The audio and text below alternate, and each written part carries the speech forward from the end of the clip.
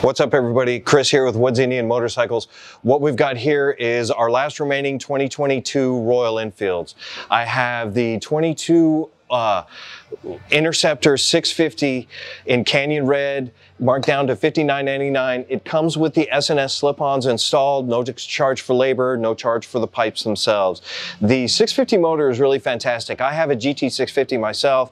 I ride the hell out of it. It's a low cost of ownership. I have had zero problems with the motor or the bike itself. It's been a great bike. These are the, our last two Scrams.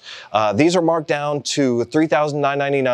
Uh, we have a father and son team that bought a pair of these about a year and a half ago, and they go everywhere on them from Big Bend all the way to Colorado Bend State Park. These guys, you can't get these guys off of it. I call them to see how they're doing, and they're constantly out on the road. These things are built like a tank. They run forever. Throw them in the back of the truck and go have a great time. Come on down, Woods Indian Motorcycles. Check out my last 22 Royal Enfields.